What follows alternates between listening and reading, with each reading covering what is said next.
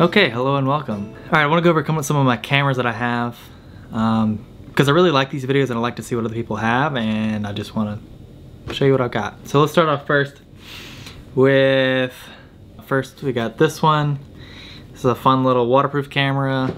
Got this one, this one's expired. It's from like 2009, I think. So I take very little pictures on this. Like every once in a while I'll take one on this and I wanna develop it all and just have like a bunch of expired photos two GoPros. Uh, honestly, there's this is the four and this is the six. There's not much difference between the four and the six, and this was not a good purchase. I think the seven is a better jump up, but I'm not gonna get it. Okay, on to point and shoots. Uh, this would be my favorite camera of all time if it worked. This is an Olympus MJU2. It's the European version of the Stylus Epic, um, whatever and this is like such a small camera I could put this in my pocket. Um, but like I said it doesn't work that well. Um, this is my preferred point and shoot. I really like this camera. This is the Nikon L35AF version 3 and the only difference between this camera and the version 2 is that it takes a weird battery and you can't set the ISO like on the first version, but this is a really cool camera. I'll take one photo.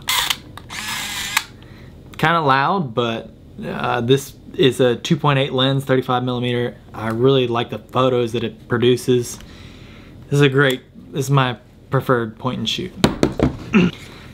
this is my underwater camera. This is underwater film. Uh, this is a cool camera.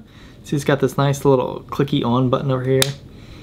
And then you can select lenses 35 and 50. Listen. And that switches between lenses and it's waterproof. Uh, I don't think it has film in it, but that's that one. This one's pretty fun. Okay, this is the Nikkormat FT2. This is a fun camera. I really like the way that it shoots. It has these dials for aperture and shutter speed right here. And then it has a meter up top as well as in the viewfinder. And I like the way that this camera shoots. But I don't like the way that it produces photos.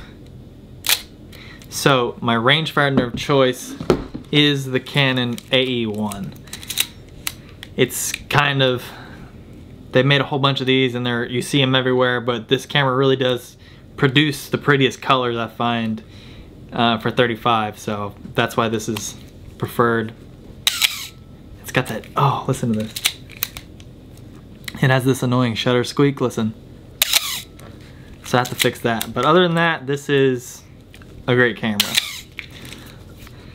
I have this camera, this is the Canon GX7.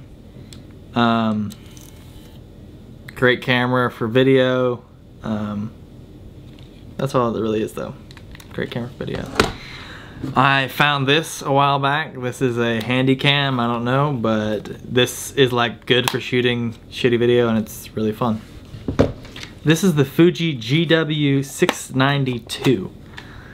This is a medium format camera, um, no light meter, so you have to meter everything. Um, I have a Sekonic L308 U um, does well.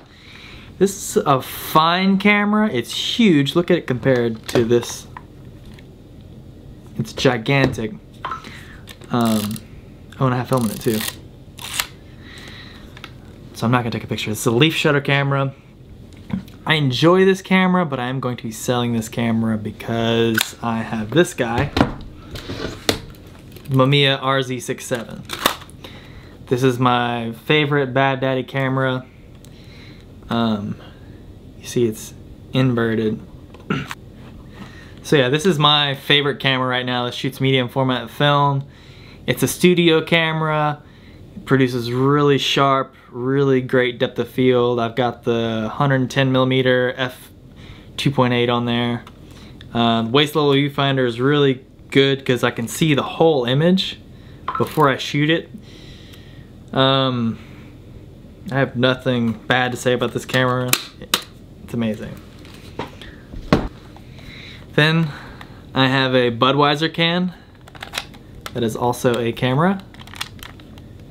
And that's kind of fun. There's nothing special about this, it's just a Budweiser camera.